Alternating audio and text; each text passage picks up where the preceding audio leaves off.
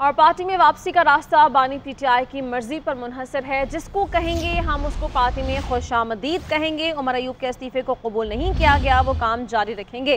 कल बानी चेयरमैन से मुलाकात करूँगा। चेयरमैन पीटीआई बैरिस्टर गौहर की सुप्रीम कोर्ट के बाहर मीडिया से बोले, जजेस की ऑब्जर्वेशन से लगता है कि सीट्स हमें मिलेंगी। हम भी सीटें मिलने के लिए पुरुद हैं।